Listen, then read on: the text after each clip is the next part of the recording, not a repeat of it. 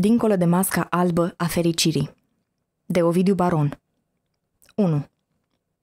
Le luase mai bine de cinci ore să meargă cu mașina în satul acela, de care nu-și mai amintea aproape deloc. Atât de mult trecuse de când fuseseră ultima dată. Tatălui său nu-i plăcea la țară. Zicea că lumea de acolo e depășită, că un copil trebuie să crească în mediul în care va avea mai târziu cele mai bune șanse să-și găsească un rost. Tot ce e bun a migrat spre oraș. Aici sunt elitele, mai spunea. În orașele mari, pentru că alea mici sunt tot un fel de sate. Așa că o răriseră cu vizitele la țară. Mai bine zis, nu mai merseseră deloc. Ultima dată fuseseră când avea Marius șapte ani. Acum împlinise 11. De două ori pe an îi vizitau pe părinții Anei. Veneau cu trenul, le aduceau vin și mâncăruri de la țară, la care Tudor strâmba inițial din nas, după care le dădea gata în câteva zile.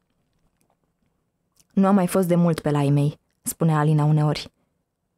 Ce să facem acolo? Oricum ți se pare, am fost relativ recent. Ai lui locuiau la Iași, însă nici cu ei nu se vedeau prea des. Ambii fuseseră profesori. Ea prefera sintagma cadru didactic. Îi se părea că impune mai mult respect. Erau prima generație venită la oraș. Crescuseră tot la țară, pe undeva prin neamț. Drumul făcă un cot și văzură o pătură albă de ceață, din care scoteau capetele aici colo câte un copac sau doi. Ceața nu era întinsă uniform. Urca și cobora de parcă cineva se juca cu ea, trăgând-o în sus și în jos, ca pe un șomoiog mare de vată, sau poate că o gâdila careva și acela era felul ei de a răspunde. Marius își rezămă fața de fereastră și se puse să numere copacii. Cum ceața se tot mișca, subțindu-se într-o parte și îngroșându-se în altele, unii copaci dispăreau. Alții se ițeau pe dealuri sau printre case. O luă de la capăt de mai multe ori și când observă muntele, se lăsă pe gubaș. Ar fi trebuit să numere o pădure întreagă. Aș putea număra așa, îi spune el mamei, un copac aici, o pădure acolo, doi copaci, apoi două păduri. Alina râse, neștiind de unde găsise puterea necesară. Se opriseră numai odată pe drum la o benzinărie. Ea luase o cafea, copilul mâncase repede un sandwich, apoi se jucase câteva minute într-un parc minuscul, cu două leagăne și un tobogan, pe care le tot luase la rând. Mai pusese la socoteală iarba pe care se tăvălise, în ciuda nemulțumirii de pe fața mamei, și o fetiță cam de vârsta lui, care îi propusese un joc de-a prințesa. Dar eu sunt băiat, replicase el cu năduf. Știu, explicase fetița. Eu sunt prințesa. E jocul meu. Tu trebuie doar să faci ce-ți voi spune. Marius dăduse din numeri. Nu era greu. Trebuia să o laude, să o încurajeze, să-i supravegheze cele două păpuși pe care le avea cu ea, până se dădea pe tobogan. În leagăn le lua și pe ele. Se răzvrătise abia când fata făcuse o tumbă și îi ceru să aplaude. Eu pot să fac chiar mai bine ca tine, a zis el, exemplificând de două ori. Nu mi s-a mai întâmplat așa ceva, a zis fata, strângând păpușile în brațe de parcă nu i-ar mai fi dat voie să le țină. Acum, căutând forme cunoscute prin ceața de deasupra satului, își dădu seama că nu o întrebase cum o cheamă. Nu-i plăcuse de ea neapărat, însă avea pe semne să se mai gândească la ea uneori cât timp avea să rămână la Nereju. Nu prea mult, îl liniștise Alina. Câteva săptămâni, o vacanță de iarnă puțin mai lungă. Se va face bine? a întrebat-o copilul, așteptând răspunsul cu ochii închiși, evitând astfel să-l citească pe fața mamei. Tudor se îmbolnăvise deodată. Nimeni nu știa din ce cauză. Inițial îi fusese rău la stomac, apoi îl duruseră toate.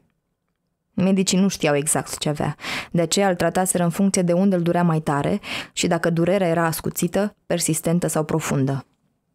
Când îi povestea copilului din astea, Tudor se străduia să fie cât mai senin. Căuta chiar un ton degajat și detalii amuzante. Apoi se duse la un aparat care îi scana tot corpul, ca să nu mai fie dubii. Se vede durerea pe aparatul acela? întrebase copilul.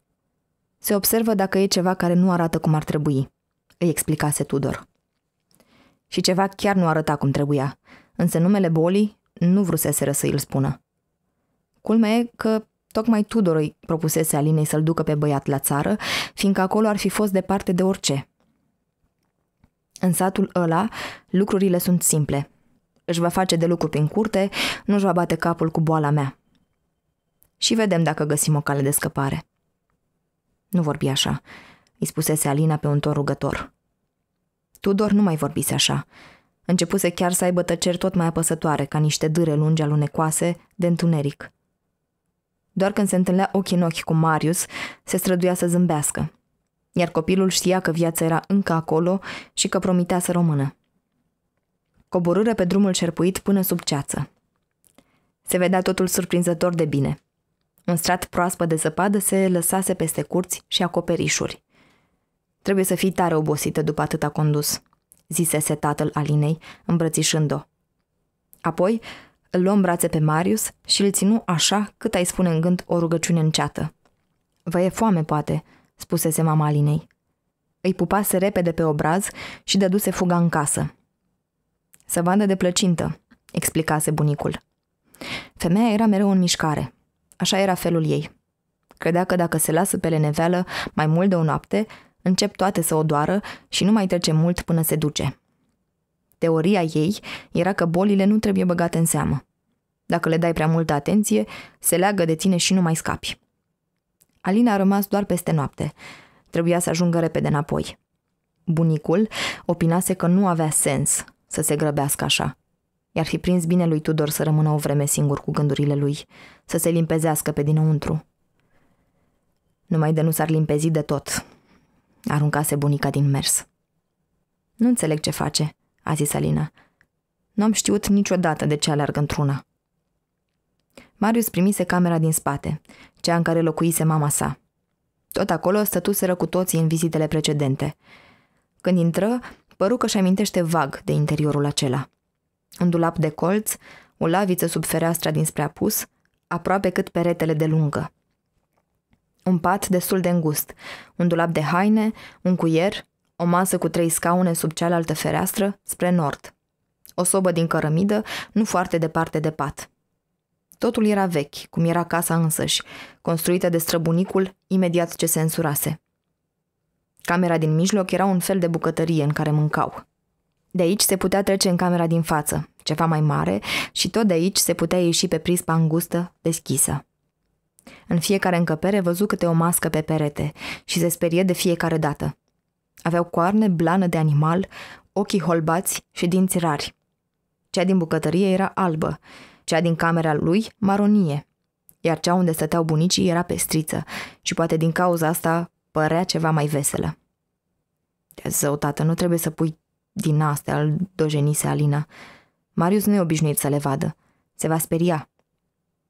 Se va speria la început, confirmase bunicul, însă mai apoi ele se vor speria de el.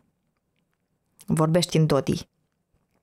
Parcă nu l-ai cunoaște, a zvârlise bunica. Dar ce vrei și tu? Se apropie totuși sărbătorile. Copilul va înțelege că e o tradiție veche. Un fel de joacă. De glumă bătrânească. Nu e nicio glumă, spuseze bunicul răspicat. Seara mâncaseră mămăligă cu brânză și plăcintă cu vișine. Plăcinte din astea cu fructele aducea bunica de câte ori venea la Iași. În camera lui mirosea ușor a bătrânețe și a țesături înălbite. Bunicul mai puse niște lemne pe foc, apoi îl sărută pe frunte și ieși.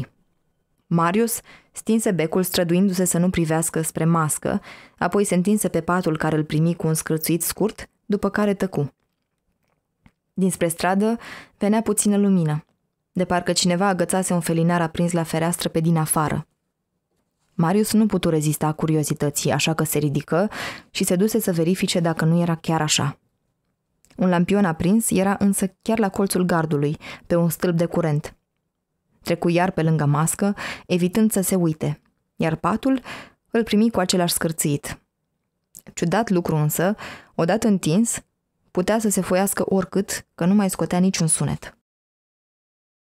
2. A doua zi, bunicul îl duse cu Sania pe deal. Aveau chiar ei o grădină undeva prin pădure.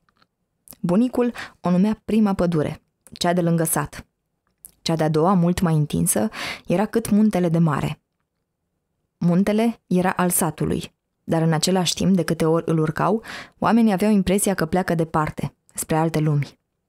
Unii dintre bătrâni povesteau de țara de jos, de țara secuilor, ori de împărăția nordului, spre care plecau pe cărări de munte întortocheate, abrupte, greu de străbătut.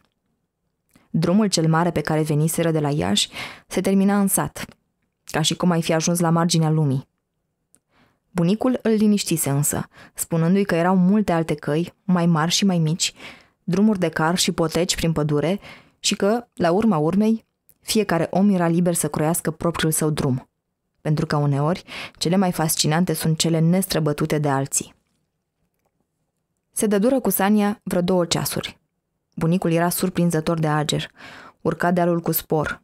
Se punea pe Sanie pe burtă sau într-o rână, cotea cu un picior ori cu amândouă și putea opri Sania oricând voia, frânând cu bocancii, făcând viraje largi și, într-un final, întorcând-o cu totul.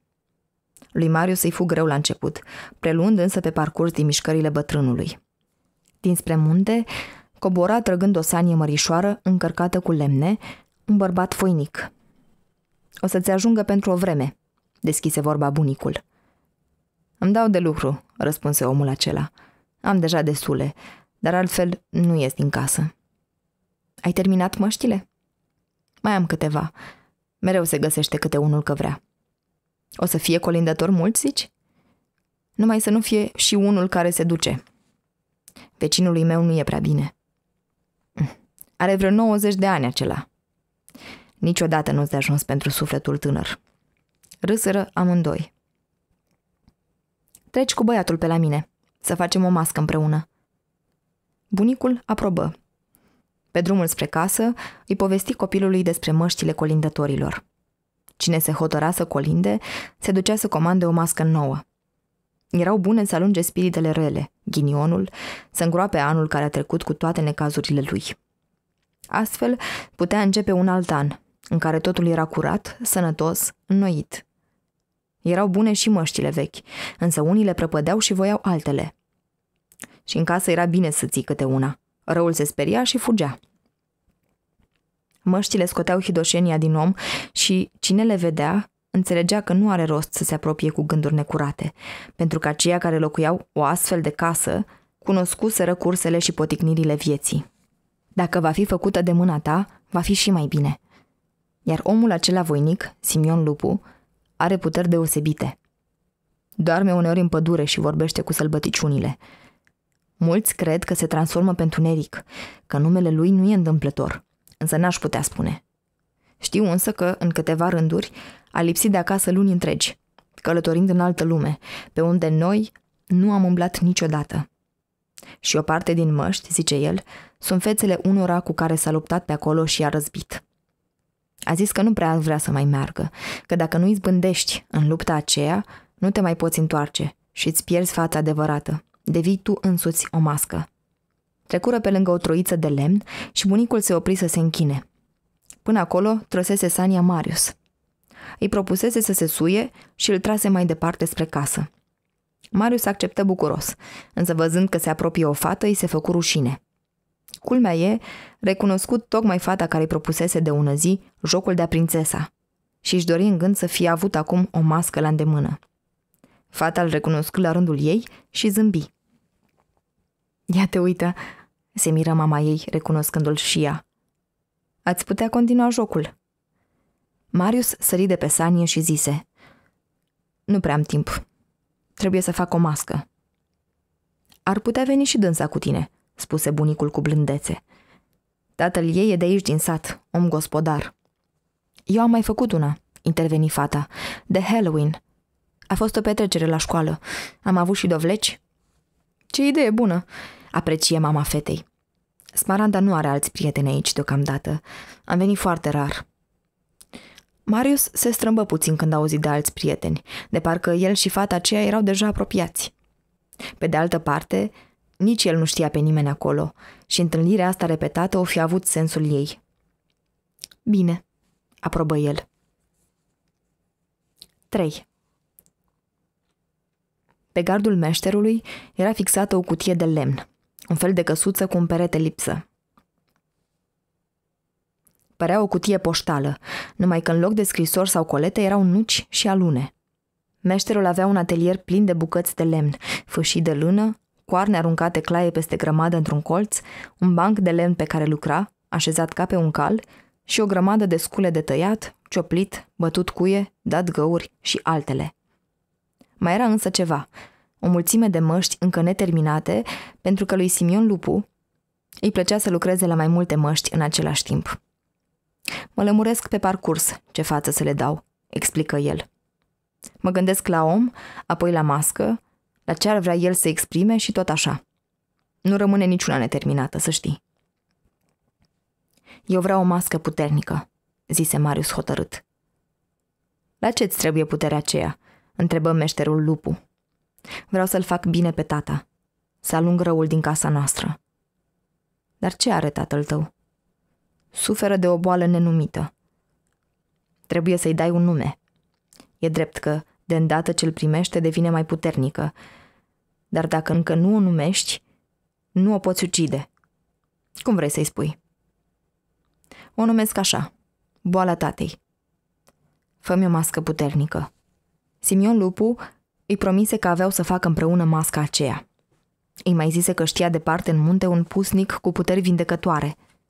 Îi propusese să meargă acolo împreună, de îndată ce vor avea măștile gata. Îi facem și lui una, să-i fie de ajutor în pădure. Una simplă, așa îi plac lui. Să știi că nici măcar acolo omul nu e cu totul singur. Asta nu e o alegere pe care să o putem face de capul nostru. Când să plece, meșterul îl conduse până la poartă, unde un bătrân tocmai lua câteva nuci din cutia aceea de lemn. De ce fură?" întrebă copilul. Ba nu fură," răspunse meșterul. Căsuța aceea este un merindar. Lăsăm fructe acolo să fie la îndemâna trecătorilor. Vara, când e cald, punem și un ulcior sau o cană cu apă. Se întâmplă ca drumul să fie greu uneori și îți prinde bine să te ajute cineva. Nu ți astâmpără numai foamea. Știi că îți ia puțin din prea plinul gândurilor. Iar dacă ești singur, simți că într-un fel tot te însoțește cineva. Bătrânul plecă. Marius se duse și luă din merindar o nucă și o alună. Meșterul le strivi de stâlpul gardului și dădu sâmburii. Tot un trecător ești și tu, îi zise meșterul zâmbind. Într-o zi merse acolo și Smaranda, care îi ceru meșterului să ajute să facă o mască pentru bal. Simion se prefăcu că nu înțelege și o întrebă dacă merge adesea la baluri, iar fata îi răspunse un pic țăfnoasă că făcea uneori baluri acasă cu păpușile. Le maschezi și pe ele?"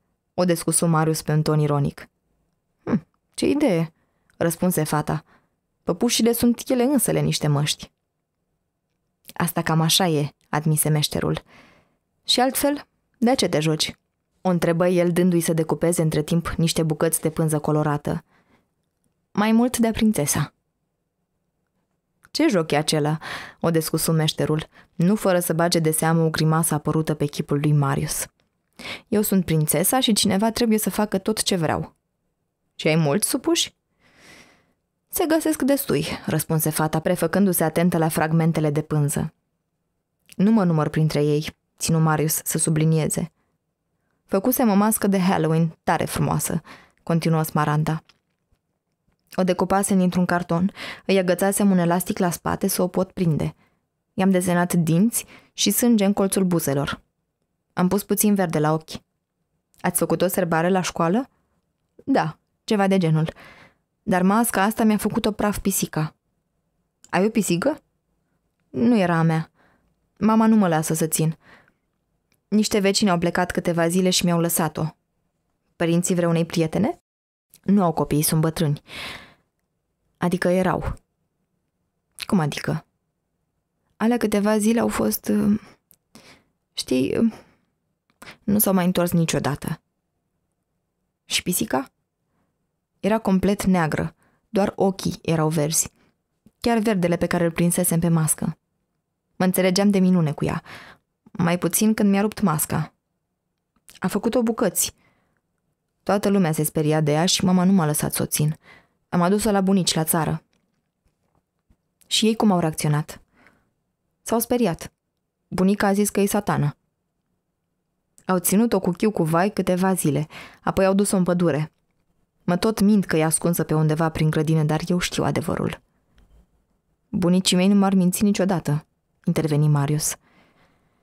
Dacă vrei, o putem căuta împreună. În grădină? Ce sens ar avea? Ți-am spus că nu e acolo. În pădure. Doar noi doi? Nu mai am alți supuși aici, zise fata, râzând și, culmea, de data asta îi se păru amuzant și lui. Așa. Și cum ai scos-o la capăt cu petrecerea de Halloween? O iscodi meșterul. Mi-am pus un costum de prințesă și m-am dus fără mască. Am pus doar puțin verde la ochi. Și cum au reacționat colegii? S-au speriat. De data asta râse și Simion Lupu.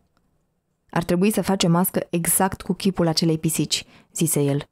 Să le duci bunicilor cadou. Dar în pădure nu vă sfătuie să mergeți singuri. Oricum nu ar fi avut nicio șansă, în pădurea asta nu e ușor. Smaranda s-a prefăcut că nu-l aude.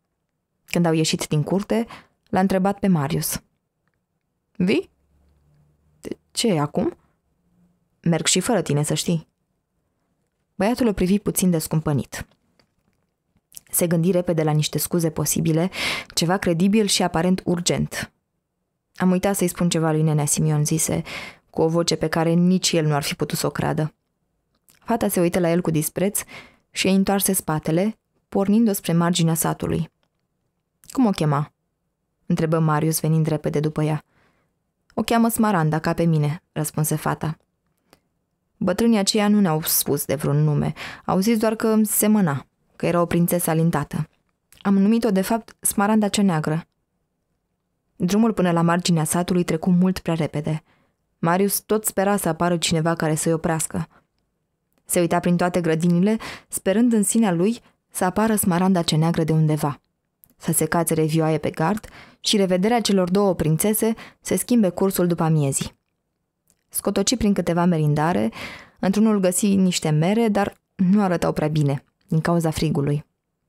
Îi plăcea pădurea, dar simțea că era ceva adevărat în avertismentele despre ea.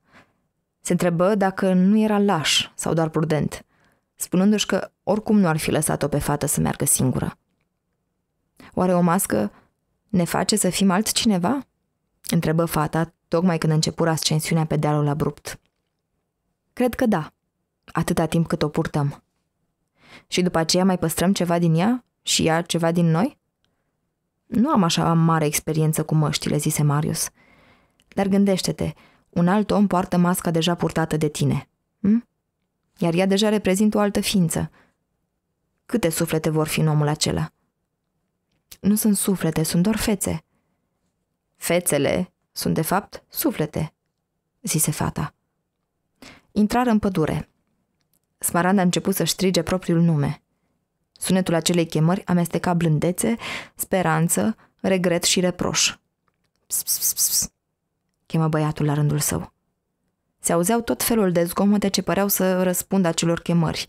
Vrascuri rupte, foșnet de frunze uscate, tropote, vâjuituri, urlete îndepărtate. Fiecare zgomot părea însă la rândul lui rupt, fragmentat, jumătăți de urlete, jumătăți de pași.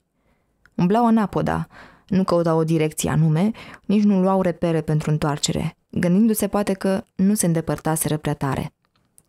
Când își dădu seama de asta, Marius se uită înapoi, încercând să registreze aspectul pădurii, căutând forme care ieșeau oarecum în evidență, arbori mai bătrâni, culori, texturi, copaci căzuți.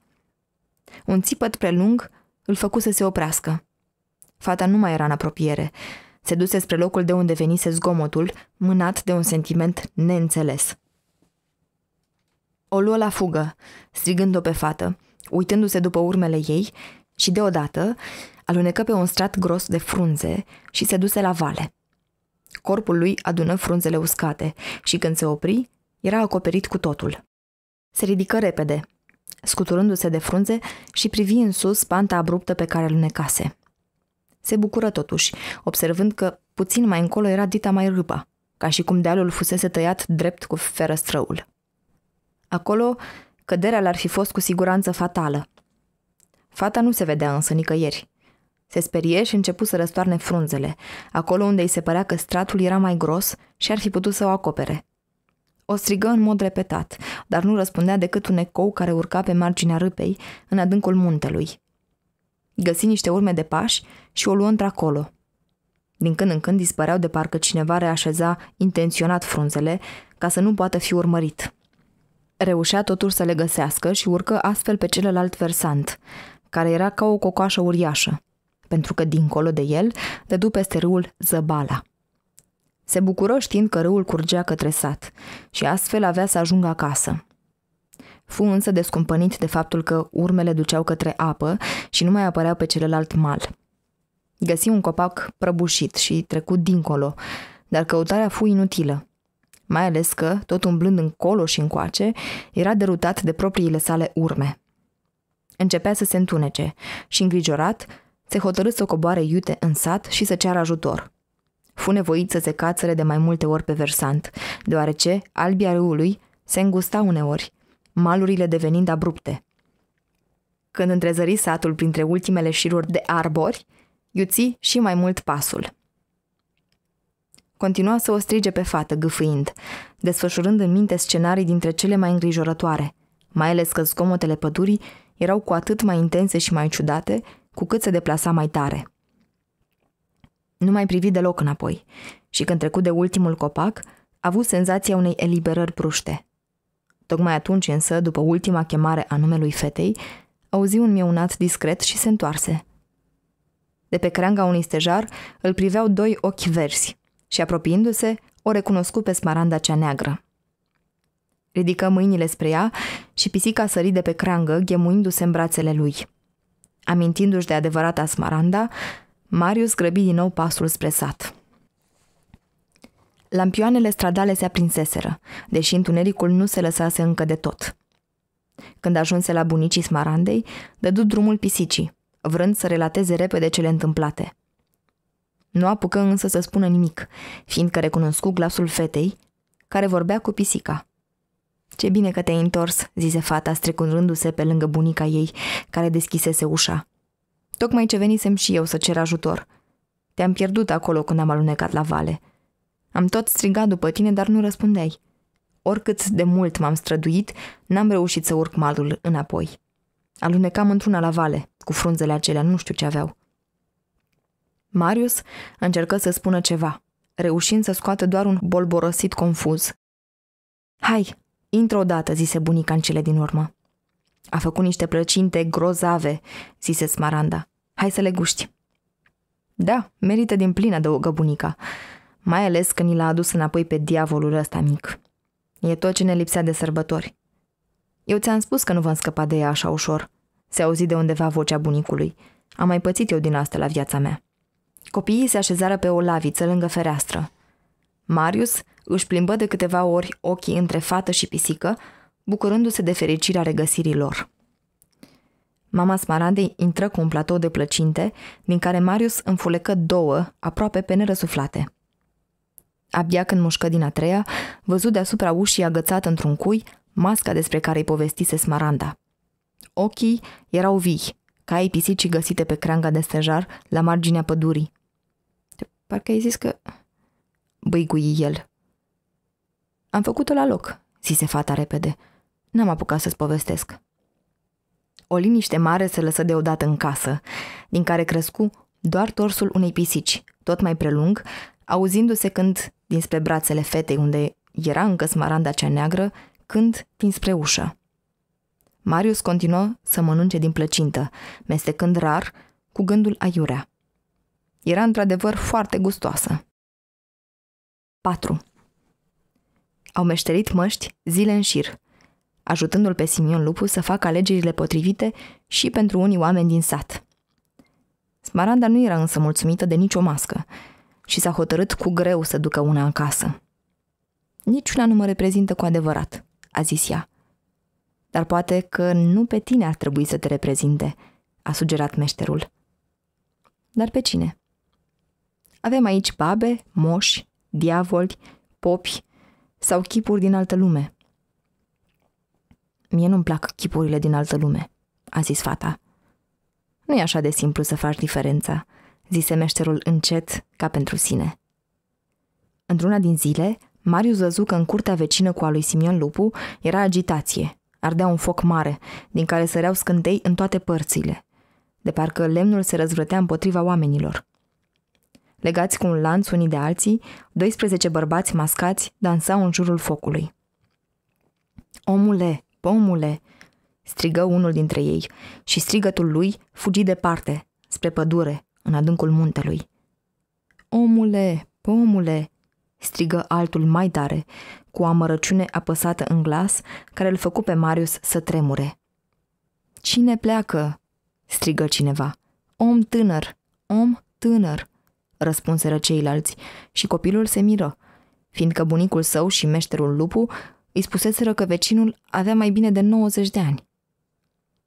Chip, chip, chipăruș, strigă unul și începură toți să sară în jurul focului pe cântec de fluier, de cobză și tobă. Unul dintre ei fu împins spre foc, însă rezistă, primzându-se bine de lanț. Altul fu împins și se rostogoli spre flăcări, provocând o revoltă și mai mare a focului. Se ridică iute și se trase rușinat într-o parte. Se vede treaba că nu prea era împăcat neagrigore cu moartea. Se auzi o voce de femeie mai către gard. Să mergem acasă, îi șopti bunicului Marius la ureche. Copilului îi bătea inima să-i sară din piept. Fără să vrea, se gândi la tatăl său. Apoi aluncă gândul. Nu-l lăsă să se întrupeze. Cum îl mai ajută pe omul acela? Întrebă el. Și cei care se duc au nevoie să se vindece, îi răspunse bunicul. Sufletele lor se curăță în focul și în dansul acela. Măștile sperie răul și dincoace de ele rămân doar binele, frumusețea și veselia. Pentru o vreme, satul alungă chiar moartea cu totul. Dar ea se tot întoarce, stă ascunsă prin vreo scobitură sau prin peșteri, unde pasul omului nu ajunge și te trezești cu ea că iar vine. Se vede treaba că nu se sperie niciodată de tot. Omul ăsta voinic, Simion Lupu, tot spunea cândva că o caută să o ucidă. Îl mai ajută pe el un pusnic, despre care povestește adesea, dar pe care nimeni din sat nu-l cunoaște. Se întâlnesc câteodată în adâncul muntelui. Marius l-a tot întrebat pe Simion despre pusnic și despre secretele lui, până când meșterul i-a promis că îl va duce să-l vadă. Numai să nu te sperii tare, i-a zis. Acela nu e un om ca toți oamenii. Două zile au mers să-l caute. Simion a spus că pusnicul nu avea o casă, nu locuia permanent în același loc, umbla mereu prin munte, însă el se pricepea să-l găsească de fiecare dată. Te trezești cu el lângă tine, a explicat el. Și așa s-a întâmplat. Pusnicul se întrupă deodată lângă ei și copilul a avut impresia că ieșise dintr-un stejar bătrân. Purta o mască din lână albă, care se lățea în sus, acoperind complet fața și urechile. Buzele erau de un roșu viu, asemenea unui foc mistuitor, iar ochii semănau cu doi cărbuni șlefuiți. Când se îmbrățișă cu meșterul, își dădu seama că statura lor semăna așa de mult, încât fiecare dintre ei își îmbrățișa propriul trup. Își puseseră și ei măștile. Se duseră spre un luminiș unde un malder de vreascuri era deja pregătit. Pusnicul își aplecă mâinile deasupra lemnelor uscate și zise Aprinde-te, focule, întrupează-te, omule, rosti pusnicul. Focul se aprinse. Marius își aminti de cel care strigase, în curtea bătrânului mort, omule, pomule, și un fior de gheață îi se scurse pe șira spinării. Însă nu dădu înapoi. Aprinde-te, focule, întrupează-te, omule, repetă Simion Lupu. Flăcările creșteau, adunându-se la mijloc, prizând trup și Marius se auzi deodată zicând Aprinde-te, focule, întrupează-te, omule. Apăru acolo, era în mod cert el, tatăl său, întrupat din foc. Îi recunoscu forma trupului.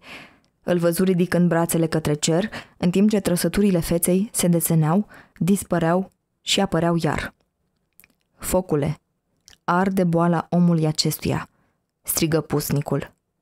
Flăcările începură să se agite, forma corpului se pierdea, apoi revenea, scântei săreau către cer, stingându-se abia departe în sus.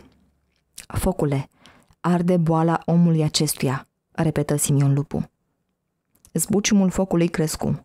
Omul sărea, se îndoia, se rupea și se făcea la loc șiruri întregi de scântei, se duceau acum către cer.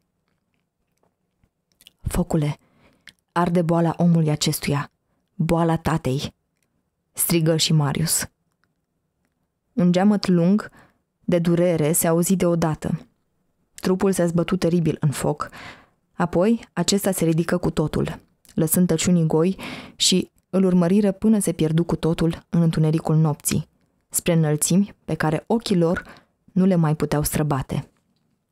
Geamătul se mai auzi o vreme și după aceea.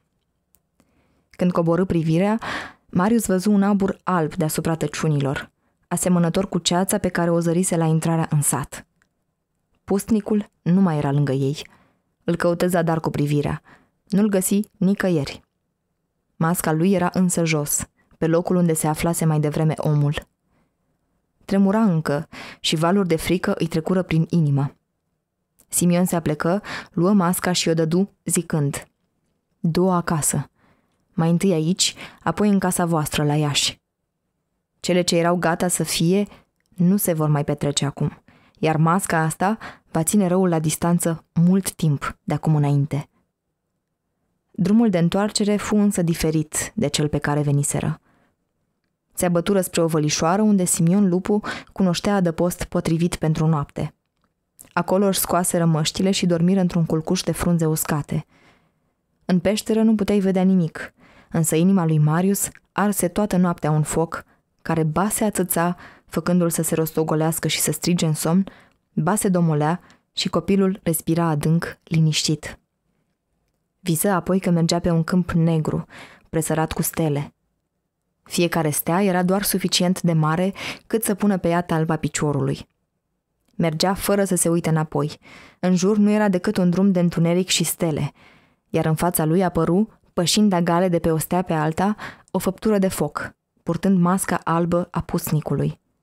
Se opri la doi pași și întinse spre el brațele, iar copilul, fără să stea pe gânduri, se duse spre el. Se îmbrățișară și în somnul lui agitat, Marius se miră că erau de aceeași statură. De acum ai și tu puteri cale mele, îi zise pusnicul. Să le folosești când trebuie și cu măsură. O să am și eu o mască la fel de puternică? Da, o să-ți povestească Simion. E masca albă a fericirii neîntinate. Însă puterile și slăbiciunile adevărate nu stau în ea, ci în spatele ei. Dincolo de mască vei ști cu adevărat cine ești și care va fi rostul vieții tale. Stelele se uniră într-o linie lungă de lumină, pe care Marius îl urmări pe puznic plecând. O să ne mai întâlnim?" strigă copilul în urma lui. De acum nimeni nu va avea puterea să ne despartă, îi strigă pusnicul, deja ajuns departe. Pe măsură ce se apropiau de sat, frica se subția tot mai tare, fiind înlocuită de bucurie și de încredere. Se întrebă când avea să-și revadă părinții și îi trecură prin minte scene de la sărbătorile petrecute împreună cu ei, colindători care le cântau la ușă, mascați care dansau în curtea bunicilor, sanii atrasă de cai, alaiuri vesele trecând încolo și încoace, casele acoperite cu zăpadă.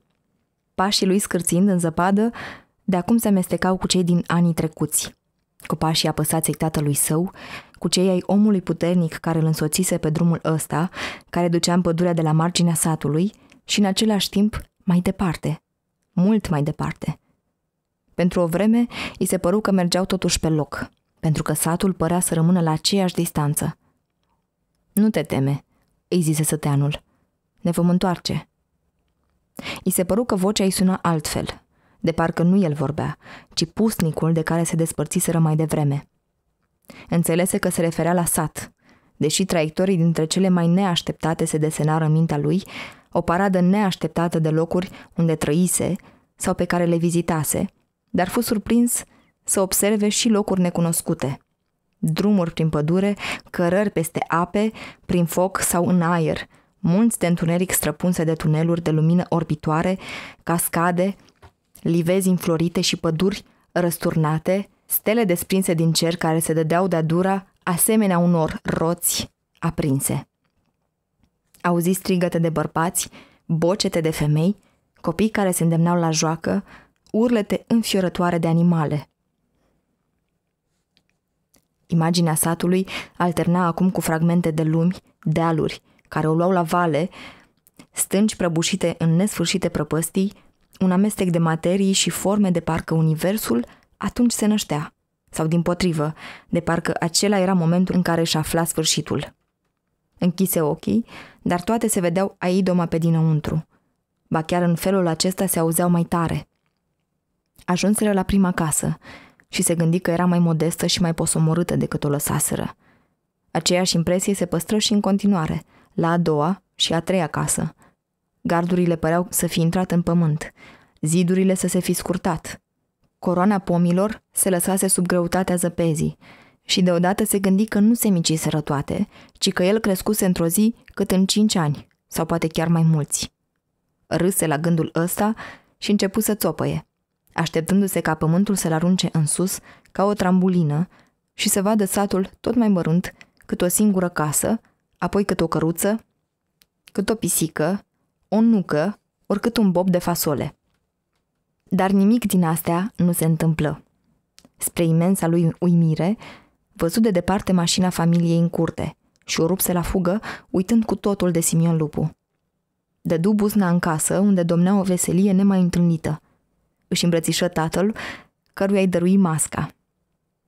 Asta o să te ferească de rele de acum înainte, spuse Marius. Dacă vei crede în puterea ei, interveni bunicul. Nu e de ajuns întotdeauna să creadă alții pentru tine. Nu știu cum se face, dar analizele au ieșit impecabil, a zis Tudor. Medicii au zis că sunt un caz cu totul atipic, dar asta nu ar trebui să mă deranjeze, nu-i așa? De altfel, nu sunt sigur că nu au greșit la un moment dat. Nu mai contează acum, zise Alina. Așa e. Acum contează mai ales ce bucate a pregătit mama ta, zise bunicul, privind pe fereastră, să se lămurească ce zgomote se auzeau din curte. Copilul râdea de fericire, strângându-și tatăl în brațe cu toată puterea. Să venim mai des la țară, de acum înainte, spuse el într-un târziu. Era ajunul anului nou. Colindătorii se auziră în curte cu strigăte, tobe, pocnete de bici și fluierături. Bunica se mișca neîncetat, pregătind un platou cu plăcinte și pahare cu vin pentru urători. Fiecare nou an vine cu o minune, zise bunicul. Eu am văzut și auzit multe de-a lungul timpului, dar numai pe cele pe care le-am trăit, chiar eu le-am și crezut. Mă bucur doar că a venit tata, a răspuns copilul. A fost bine acolo în pădure. Nu ți-a fost frică? Nu mi-aduc prea bine aminte, s-a prefăcut el. O să mai ai o bucurie, să știi, a adăugat bunicul râzând. Mâine vine Sparanda în vizită. Zice că vrea să faceți țiar joc